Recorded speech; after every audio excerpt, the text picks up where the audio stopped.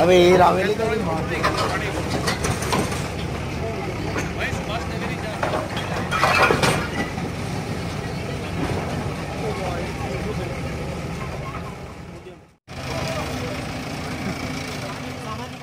One मकान है, जो हमने एक्वायर किया था लैंड क्वेश्चन के बीच में। हमारा जो डीएफसी का कॉरिडोर डबल लाइन का, उसका प्रोजेक्ट चल रहा है, जो हिमाचल एरिया का एल सी वन और टू के बीच में था। तो उसी के चक्कर में डिमोलेशन चल रहा है। कब तक कार्रवाई की जाएगी? आज हो रही है आज।